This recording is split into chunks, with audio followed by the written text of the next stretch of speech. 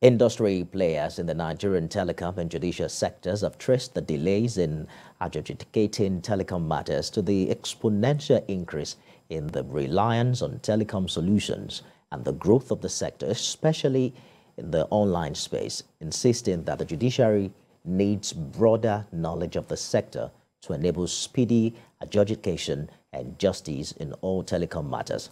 Addressing journalists at the annual workshop for judges on legal issues in telecommunication put together by the Nigerian Communications Commission NCC in collaboration with the National Judicial Institute held in Lagos. The executive vice chairman of NCC, Umar Danbatta, explains that there is a need for better understanding of the diverse telecom sector to enable speedy dispensation of justice in matters affecting the telecom sector.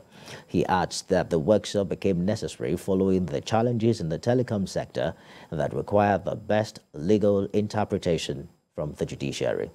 Mr. Danbatta, however, noted that the judiciary will continue to play an important role in all conflict resolutions and telecom matters that will support the future of adjudication in the country. Today to deliberate on what the digital world portends for our justice system than the judiciary.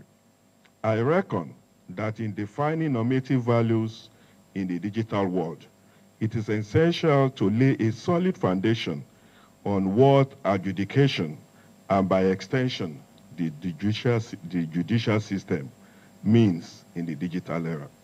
These emerging technologies come with benefits and challenges.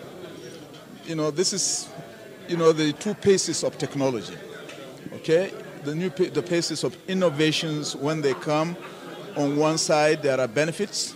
On the other, you know, there are challenges. And it is our responsibility as a regulator to try to ensure the benefits are enjoyed by our people, as well as try to contain the challenges. So this workshop will look at what these emerging technologies, what benefits they brought for society, that we know, for our communities, all the benefits are there. We're enjoying the benefits. But we cannot afford to ignore the challenges.